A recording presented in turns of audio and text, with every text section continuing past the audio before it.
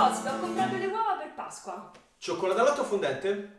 Ma di gallina, Andre, ma ti pare? E poi al massimo avrei preso minimo 75% di cacao, quindi extra fondente. Lo sapevo io. Avrei dovuto sposare una pasticcera, non una biologa nutrizionista.